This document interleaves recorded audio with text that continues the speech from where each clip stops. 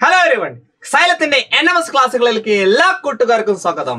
It's me Vaishakh. നിങ്ങളുടെ സ്വന്തം B J R okay ഇന്ന് നമ്മൾ ഡിസ്കസ് ചെയ്യാൻ പോകുന്നത് നിങ്ങളുടെ എൻ എം എസ് പരീക്ഷയിൽ കൂടുതൽ ചോദിച്ചിട്ടുള്ളതും ഇനിയും ചോദിക്കാൻ ചാൻസ് ഉള്ളതുമായിട്ടുള്ള ഒരു ഇമ്പോർട്ടന്റ് പോർഷൻ ആണ് ഡിവിസിബിലിറ്റി റൂൾ അഥവാ നിശേഷ ഹരണം ഓക്കെ അപ്പൊ നിങ്ങൾ വീഡിയോ മുഴുവനായിട്ട് കാണുക. അതോടൊപ്പം തന്നെ എന്ത് ചെയ്യുക? നിങ്ങളുടെ അഭിപ്രായങ്ങളെല്ലാം കമന്റ് ബോക്സിൽ ടൈപ്പ് ചെയ്തിട്ട് വിടാം ഓക്കെ പിന്നെ നമ്മുടെ വീഡിയോ ലൈക്ക് ചെയ്യാൻ മറക്കല്ല അപ്പം വേഗം നമുക്ക് ക്ലാസ്സിലേക്ക് പോലോ?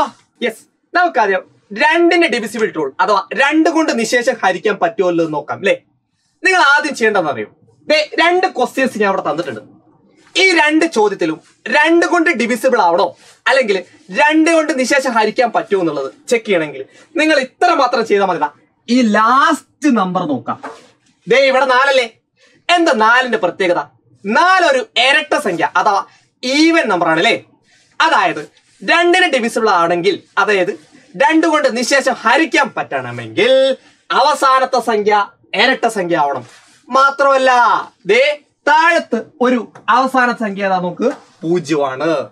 അതായത് അവസാനത്തെ സംഖ്യകൾ ഇരട്ട സംഖ്യയോ പൂജ്യമോ ആയാൽ ആ വലിയ നമ്പറും എത്ര കൊണ്ട്? അതായത് രണ്ട് കൊണ്ട് അതായത് രണ്ട് കൊണ്ട് ഡിവിസിബിൾ ആയിരിക്കും. സെറ്റാണല്ലോ സെറ്റാണല്ലോ ഇപ്പൊ കാര്യങ്ങൾ മനസ്സിലായല്ലോ? അവസാനത്തെ സംഖ്യ എടുക്കുന്നു. ഇരട്ട സംഖ്യ ആണോ അല്ലെങ്കിൽ ഈവൻ നമ്പർ ആണോ? പൂജ്യമാണോ നോക്കുക.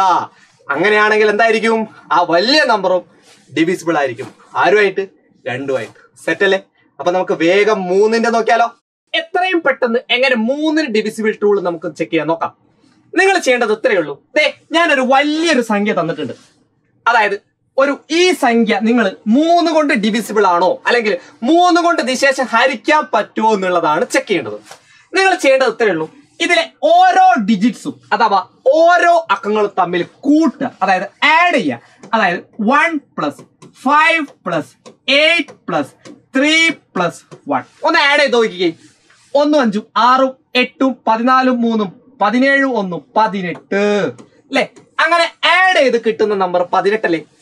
ആ പതിനെട്ടിന് ഒരു പ്രത്യേകത എന്താ പ്രത്യേകത എന്ന് പറയൂ പതിനെട്ട് ഒരു മൂന്നിന്റെ ഗുണിതം അല്ലെങ്കിൽ മൂന്നിന്റെ മൾട്ടിപ്പിൾ ആണോ? ഒന്നും നോക്കണ്ട മക്കളെ.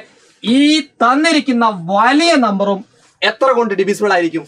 അതായത് എത്ര കൊണ്ട് നിശേഷം ഹരിക്കാൻ പറ്റും? മൂന്ന് കൊണ്ട് നിശേഷം ഹരിക്കാൻ പറ്റും. സിമ്പിൾ അല്ലേ മെത്തേഡ് എങ്ങനെയാ ചെയ്തത്? അതിലെ ഓരോ ഡിജിറ്റ്സും അതായത് ഓരോ അക്കങ്ങളും തമ്മിൽ കൂട്ടുക. കിട്ടുന്ന സംഖ്യ അതായത് പതിനെട്ട് അല്ലെ കിട്ടുന്ന സംഖ്യ മൂന്നിന്റെ മൾട്ടിപ്പിൾ ആണോ? എങ്കിൽ ഈ തന്നിരിക്കുന്ന നമ്പറും എന്തായിരിക്കും? ഡിവിസിബിൾ ആയിരിക്കും. ആരുമായിട്ട്? മൂന്നുമായിട്ട്. അപ്പൊ സെറ്റ് അല്ലേ? അപ്പൊ വേഗം നമുക്ക് അടുത്തേക്ക് പോവാം. ആറിന്റെ ഡിവിസിബിലിറ്റി റൂൾ അഥവാ ആറിന്റെ നിശേഷഹരണം നമുക്ക് എത്രയും പെട്ടെന്ന് എങ്ങനെ ചെയ്യാൻ നോക്കാം?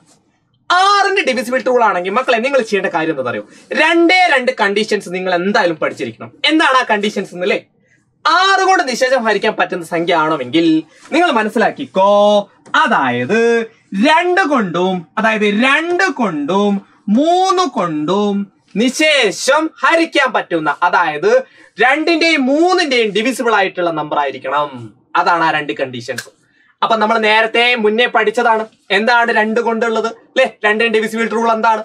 മൂന്നിന്റെ ഡിവിസിബിൾ റൂൾ അഥവാ നിശേഷ ഹരണങ്ങൾ എന്താണ്? അല്ലെ കാര്യങ്ങളൊക്കെ നമ്മൾ പഠിച്ചതല്ലേ? അപ്പൊ ഇതൊന്ന് ചെക്ക് ചെയ്ത് നോക്കാം. രണ്ടിന്റെ നിശേഷധാരണ നമ്മൾ എങ്ങനെയാ ചെക്ക് ചെയ്തിരുന്നത്. അല്ലെ സിമ്പിൾ ആണ്. ദേ അവസാനത്തെ സംഖ്യ എടുത്തു. അവസാനത്തെ സംഖ്യ രണ്ടോ മീൻസ് ഈവൻ നമ്പറോ അതായത് പൂജ്യമോ വന്നു കഴിഞ്ഞാൽ എന്തായിരിക്കും? ആ നമ്പറും എന്തിനായിരിക്കും? രണ്ടും കൊണ്ട് നിശേഷം ഹരിക്കാൻ പറ്റും സെറ്റല്ലേ അപ്പൊ വേഗം നമുക്ക് രണ്ടാമത്തെ കണ്ടീഷൻ സെറ്റ് ആക്കിയാലോ. ദേ മൂന്ന് കൊണ്ട് നിശേഷം ഹരിക്കാൻ പറ്റുന്ന സംഖ്യയാണോ നമ്മൾ എങ്ങനെ ചെക്ക് ചെയ്തിരുന്നത്? അല്ലെ കുറച്ചു മുന്നേ നമ്മൾ പഠിച്ചിട്ടല്ലേ ഉള്ളൂ. എങ്ങനെയാ? ഇതിലെ ഓരോ ഡിജിറ്റ്സ് തമ്മിൽ കൂട്ടി. ഒന്ന് കൂട്ടി നോക്കല്ലേ മൂന്നും രണ്ടും അഞ്ച് അഞ്ചും നാലും ഒമ്പത് ഒമ്പതും ഒന്ന് പത്ത് പത്തും രണ്ട് പന്ത്രണ്ട്. അങ്ങനെ ചെയ്യുന്ന സമയത്ത് പന്ത്രണ്ട് കിട്ടി. മക്കളെ പന്ത്രണ്ട് ഒരു മൂന്നിന്റെ ഗുണിതല്ലേ? അതുകൊണ്ട് ഇത് മൂന്ന് കൊണ്ടും നിശേഷം ഹരിക്കാൻ പറ്റും. മക്കളെ മനസ്സിലാക്കിക്കോ. നമ്മൾ എന്താ പഠിക്കുന്നത് ആറ് കൊണ്ട് അതായത് സിക്സ് കൊണ്ട് ഡിവിസിബിൾ ആണോ നമ്മൾ എങ്ങനെ ചെക്ക് ചെയ്യുക രണ്ട് കൊണ്ടും നിശേഷം ഹരിക്കണം. മൂന്ന് കൊണ്ടും നിശേഷം ഹരിക്കണം ഈ രണ്ട് മൂന്ന് ഡിവിസിബിൾ ആയിട്ട് പോകണം എന്നാ മാത്രമേ നമ്മൾ ആറ് കൊണ്ട് പറ്റുള്ളൂ. സെറ്റ് ആണല്ലോ. അപ്പൊ എങ്ങനെയാ ചെക്ക് ചെയ്ത് മനസ്സിലായല്ലോ? രണ്ടേ രണ്ട് കണ്ടീഷൻസ് ഓർമ്മയിൽ വെക്കുക രണ്ട് കൊണ്ടും മൂന്ന് കൊണ്ടും ഡിവിസിബിൾ ആണെങ്കിൽ ആറ് കൊണ്ടും പറ്റും. സെറ്റ് ആണല്ലോ. അപ്പൊ നമുക്ക് വേഗം അടുത്ത ചോദ്യത്തിലേക്ക് പോകാം യെസ് ഇനി നമുക്ക് ഒമ്പത് കൊണ്ട് നിശേഷം ഹരിക്കാൻ പറ്റും അല്ലെങ്കിൽ ഒമ്പതിന്റെ ഡിവിസിബിൾ ആണോ എന്ന് ചെക്ക് ചെയ്ത് നോക്കാം അല്ലെ? ഞാനൊരു ചോദ്യം കാണിച്ചിട്ടുണ്ട്. ഈ ചോദ്യം ഒമ്പത് കൊണ്ട് നിശേഷം ഹരിക്കാൻ പറ്റുന്ന സംഖ്യ ആണോ എന്ന് നമുക്ക് എങ്ങനെ ചെക്ക് ചെയ്യാം. ഇതിലെ ഓരോ അക്കങ്ങളും കണ്ടോ നിങ്ങൾ അല്ലേ ആ ഓരോ അക്കങ്ങളും തമ്മിൽ എന്ത് ചെയ്യാം? കൂട്ടുക. ആഡ് ചെയ്യുക അല്ലെ? ഓരോ ഡിജിറ്റ്സ് തമ്മിൽ ആഡ് ചെയ്യുക. ഇതാ ഞാൻ ആഡ് ചെയ്ത് നോക്കിട്ടോ അഞ്ച് പ്ലസ് നാല് പ്ലസ് നാല് പ്ലസ് അഞ്ച്. അല്ലെ ആ ഓരോ അക്കങ്ങൾ കൂട്ടുന്ന സമയത്ത് അഞ്ചും നാലും ഒമ്പതും നാലും പതിമൂന്നും പതിമൂന്നും അഞ്ചും പതിനെട്ട്. കിട്ടുന്ന പതിനെട്ട്. അതായത് അക്കങ്ങൾ കൂട്ടി കിട്ടുന്ന സംഖ്യ ആയ പതിനെട്ട്.